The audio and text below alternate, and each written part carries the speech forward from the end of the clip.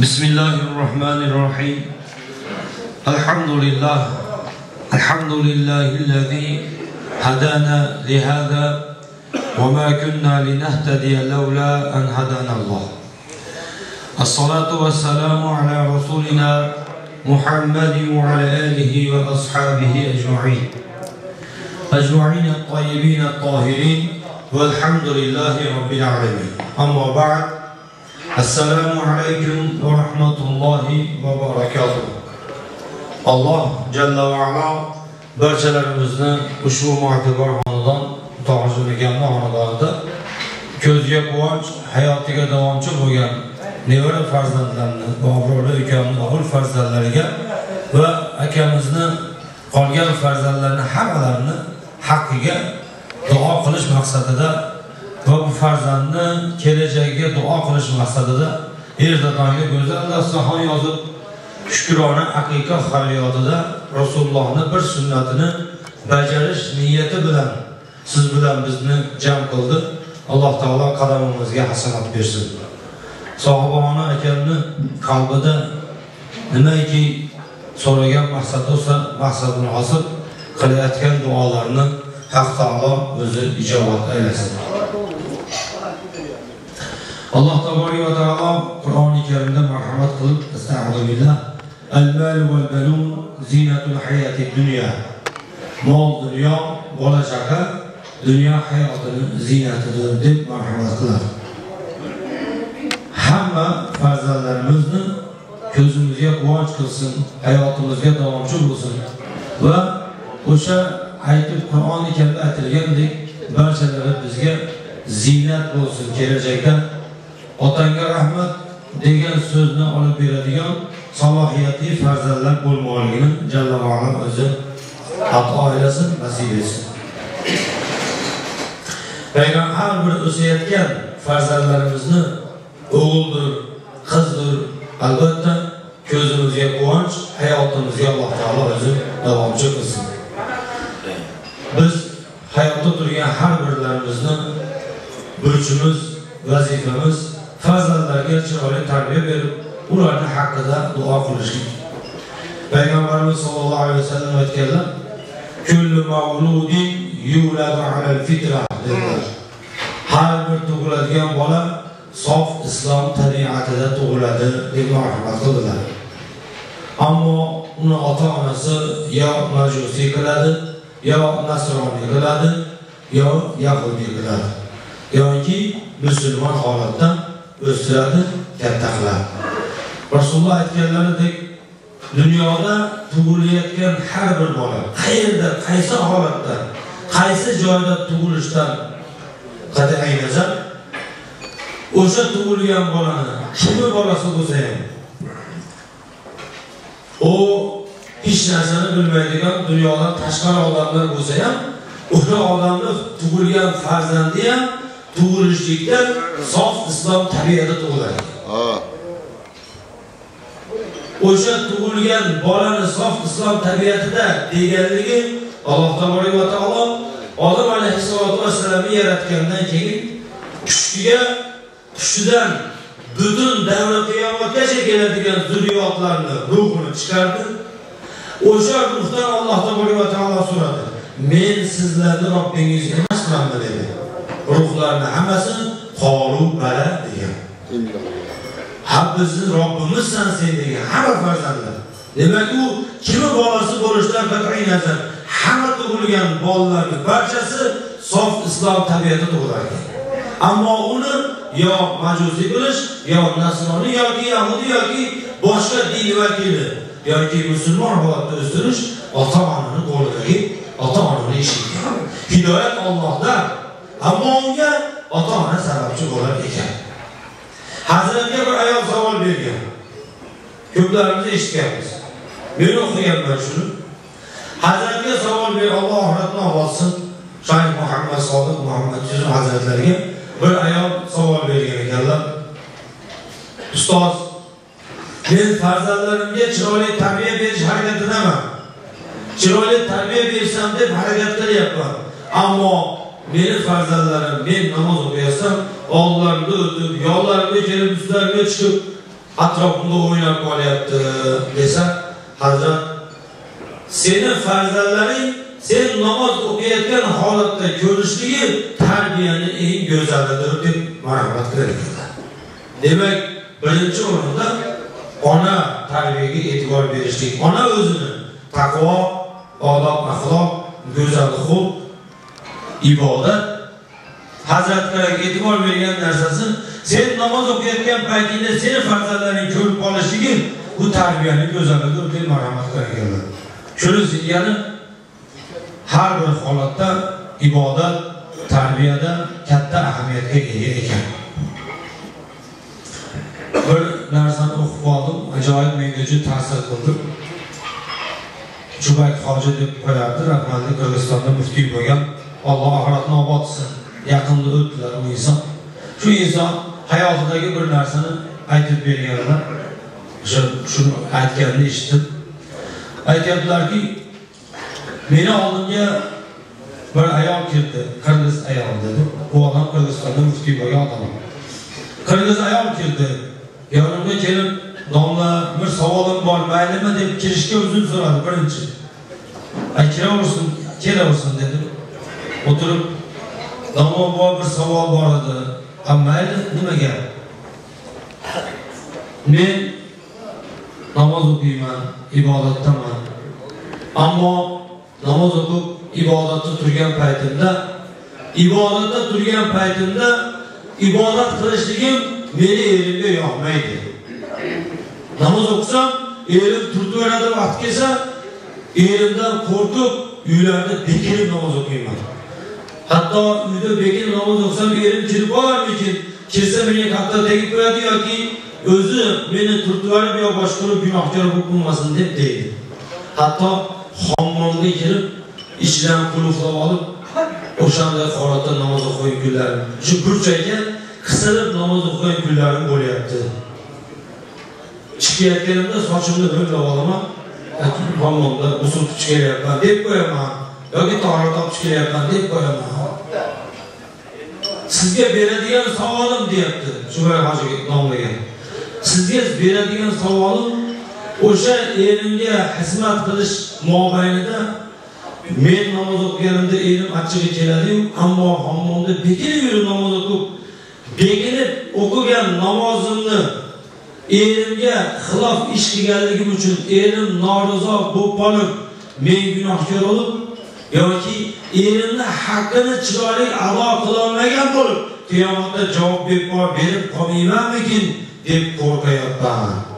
Degan ekanlar. Shubay hoji aytadilarki o'sha gapni eshitishim bilan. Shunday o'zimni to'xtatolmay ichkariga kirib ketdim xonamga kirib olib ichkarida xonam bor shunaqa yig'layapman shunaqa yig'layapman meni yig'latgan narsa qirg'iz elidan ham shunaqa ayol chiqadimi? deb yig'layapman o'zimni to'xtatolmadim allohga ibodat qilib turib namoz o'qib yana ibodati mobaynida eri uqsa ham buqsa ham erim norizo bo'lib qolmayaptimi shu ishimdan? Erim norizo bo'lib qolsa ertaga qiyomatda javob berib qolmayin deb qo'rqib yig'layapti. Deb shu gapni gapirdi. Shuni singari ayollar ham o'zimiz ham ham ayollarimiz ham ahli ayollarimiz ham farzandlarini go'zal tarbiya topishida katta ahamiyatga ega ekan birinchi o'rinda alloh taborak va taolo barcha farzandlarimizdan avval aytganimizdek ko'zimizga quvonch hayotimizga davomchi salohiyatli farzandlar bo'lib yetishishni alloh nasib etsin. Hozirgi kunda mana shu sizga tarbiya juda katta ahamiyatga ega. Men ko'p yillardan aytgan bo'lyapman oddiy o'tirishlarda ham shuni ko'p aytyapmizki azizlar tarbiyadagi yana bir ahamiyatli narsa birov haqida gapirishdan o'zimizni to'xtatishimiz kerak. Birov haqida dedi dedi gaplarni gapirishdan to'xtatishimiz kerak. Chunki bu holat oddiy holga aylanib qoldi. Meni bir o'ylantirgan narsa shu haqida gapirib yoki eslab deb o'ylanib turyapmizki biz qilayotgan ishni bizni bolamiz ham qilar ekan. Va farzandlarni hayotida yurish turishda bilib olishdan o'zimizga o'xshashga harakat qiladi. Otamga o'xshasam onamga o'xshasam deydi. Shu o'rinda g'iybat qilishlikda ham uyda o'tirganimizda ham shu birov haqida gapirib falonchi qo'shni ana bo'libdi pistonchi mana bo'libdi falonchi u deyapti pistonchi bu deyapti ada unaqa mana bunaqa deb gapirib qo'yyapmizda oddiy holat qoldi. Shu narsani bittasi uchta oshda gaplashib o'tirsak uchalamiz chiroyli gaplashib o'tiruvdik. Ammo bittamizda turib bir ishim bor deb chiqib ketib qolsa hozir maza qilib gaplashib o'tirgan oshnamizni yana gapirib qo'yyapmizda hozir gaplashib o'tirdik bo'lmasa o'shani g'iybatini qilib qo'yyapmiz shu holat uyimizda ham bo'lib qolyapti. Hozir gaplashib o'tirsak bir birimiz bilan gaplashib o'tirish mobaynida buni buni g'iybat qilib qo'yamizda. Farzandlarimiz o'tirgan joyda. Shuni to'xtatishimiz kerak. Shu o'tirganda ahli ayolimiz falonchi mana bo'pti mana bo'pti biz yo'q qo'y gapirma qo'y boshqa gaplashaylik deb uni biz to'xtatsak biz gapirmoqchi bo'lib turadigan bo'lsak bizni gapimizni xotinimiz to'xtatib qo'ysa mayerda turgan yoshlar ham farzandlarimiz ham e dadam birov gapirsa gapirma deydi gapirmaylik deydida ularga bitta katta bir tarbiya bo'ladi. Chunki g'iybat so'zlarni eng yomoni. Alloh taboraka va taolo qur'oni karimda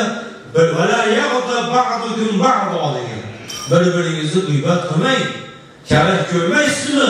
Bir biringizni go'shtingizni yegani kerak ko'rmaysizmi? dedi alloh taolo. Bir birimizni haqimizda gapirishdan o'zimizni saqlashimiz kerak. O'sha gapirishni gapirib qo'yaveramiz.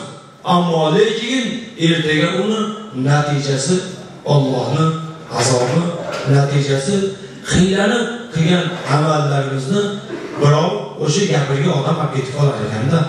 Ham yerdagi narsa u yanimizni bizni tarbiyamizni olayotgan farzandlarimiz tarbiyasi buzilib qolar ekan. Luqmon hakim rahmatulloh alayhi e bu zotni qur'oni karimda ismi zikr qilingan juda katta ibratlik so'zlari bor farzandlarga ham boshqalarga ham. Va luqmon hakim o'z farzandiga tarbiya berganligini qur'oni karimda bir necha o'rinda zikr qilgan. Alohida luqmon surasi ham bor shu zotni hayotlari haqidagi ajoyib gap. Luqmon hakimni payg'ambar ham demaymiz payg'ambar emas ham demaymiz qur'oni karimda nomi zikr qilingan buyuk zot. Mana shu zotni hayotidagi bir ajoyib tarbiyaviy so'zni gapirgan ekanlar hammamizga ibratli hikoya. Bugun aytadilarki u hikoyada shunday keltiradi. Luqmon hakim hazratlari o'g'liga qarab ey bolam ertaga ro'za tutgin ertaga ro'zani tutasanda ro'za tutganingdan keyin kechki paytga borganda kunduzi bilan gapirgan gaplaringni menga hisobotini berasan dedi. Ho'p oradan ertasi bo'ldi. Kechki payt iftor mahali yaqinlashayotgan paytda luqmon hakim o'g'liga qarab olam menga hisobotini ber. Nima to'g'risida gapirding bugun desa otasiga gapirgan gaplari hisobotini beryapti ulug' zotni farzandi yolg'on gapirmaydi hisobotni berdi bir chekkadan. To kecha yarim bo'ldi deydi ertasi kuni yana kechqurun yotib turib er-, shu kuni kechqurun e, bolam ertaga ham shuni takrorlagin. Ro'za tutgin menga hisobotini berasan. Ertasi kuni ham shu holat kunduzi bilan gapirgan gaplar iftor mahali yaqinlashganda yana hisobotini berishni boshladi. Ro'za tutgan odam uchun eng zarur narsa kechki paytga borganda iftorlik qilish. U bola iftorlikdan qolib otasiga hisobot beryapti ertasiga to kecha yarim bo'ldi deydi. Uchinchi kuni yana o'sha holat takrorlandi ertaga yana bolam iftorlik ro'za tutasan menga hisobotini berasan. Inson tanasi ro'za tutgan odam bir kun chidaydi ikki kun chidaydi uchinchi kuni chidolmay qoladi. Uchinchi kuni ham o'tdi. Kechki paytga borganda bolam hisobotini ber. Uchinchi kuni ham yana sal xufton mahalga yaqinlashguncha hisobot berib og'ir holdan toydi. Kech iftor qildi qiyinchilik bo'ldi. Hali bola o'ylabdi ertaga tilimni tiymasam yana o'sha holat takrorlanadi. Ertasi kuni kechki paytga borganda yana ro'za tutdi. Iftor mahalga yaqinlashganda otasi bolam hisobotini bergin degdi bolasi ota bugun hech narsa demadim dedi. Bolam men o'ylagan narsa bo'ldi duo qil olloh tutgan ro'zangni qabul qilsin allohu akbar dedi. Tarbiyani qarang. Kechpay gapirgan gapirgan qildi hisobot ber hisobot ber hisobot ber deb faqat yaxshilik gapirgan yomonlikni to'xtatgan. Behuda gap til so'z hammasini yig'ishtirib qo'ygan. Kechki paytga borib iftorlikni endi iftor ro'zani ochavur iftorlikka ruxsat berdi shehdagi narsani aytyaptilar ey azizlar deyapti. Shu oxiratga qo'yadi qiyomat kunida siz bilan bizni hayotimiz ham shunday bo'ladi. Agar dunyo hayotida behuda so'z behuda gap yomon ish noto'g'ri fikr noto'g'ri gaplarni yig'ishtirib qo'yadigan bo'lsak ertaga qiyomat kunida iftorlik qanday lazzat bo'lsa jannat degan lazzatga alloh taolo shunday so'roq savolsiz kirgizib yuboradi. Teskarisi bo'ladigan bo'lsa luqmoni hakim o'g'li iftorlik qilmay yarim kechasigacha savol so'roq savol bergandek hisobot bergandek ertaga qiyomat kunida shu hisobotni berasan deb ajoyib luqmon hakimni ibratli hayotini shunday fikr bilan yetkazgan ekanlar shuning uchun hammamizni ham alloh tabaraka taolo qilayotgan har bir amalimizni doim yaxshilik bilan bajarishni alloh nasib etsin. Tarbiya hammamiz ham allohga shukur farzand tarbiya qilyapmiz. Shu tarbiyalayotgan farzandlarimizni oldida ayniqsa behuda so'z behuda gap yoki g'iybat bularni yig'ishtirib ularga chiroyli tarbiya berishda alloh o'zi madadkor bo'lsin. Bu joyda bizlarga ibrat bilan e, ulug' ko'p farzandlarni tarbiya qilgan ulug'lar o'tiribdilar. Kattalar bor ammo yosh birodarlarimizga shu gaplarni yetkazgan bo'ldik. Alloh hammamizdan amal qilmoqligimizni alloh nasib etsin. Hammamizni ham farzandlarimiz doim ko'p aytamiz ko'zimizga quvonch bo'lsin hayotimizga davomchi bo'lsin. Ya'ni qur'oni karimda aytgandek mol dunyo bola chaqa dunyo hayotini ziynatidir. Ziynat qachon bo'ladi bola chaqa ziynat bo'lish desa o'sha farzand erta katta bo'lganda ikkimi bolasi u ajoyib bo'libdi deb haqqimizga duo so'rab ajoyib farzand ekan desa o'sha otasi kim uchun buni deb otasi to'g'risida so'rab yaxshi fikr beradigan bo'lsa o'sha farzand albatta dunyo hayotiga ziynat bo'ladi. Shu maqomni alloh taolo barchamizga nasib aylasin أعوذ بالله من الشيطان الرجيم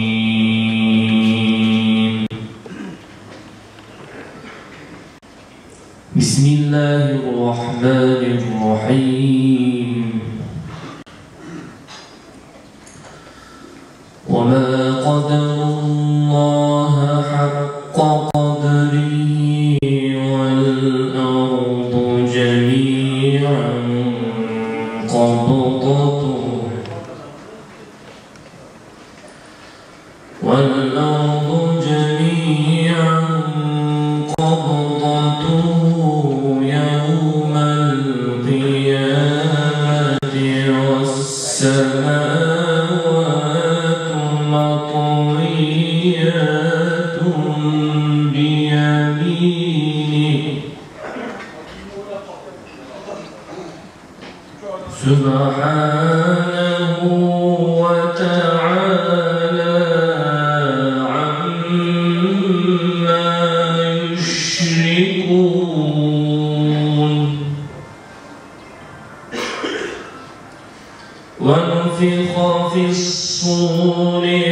عقما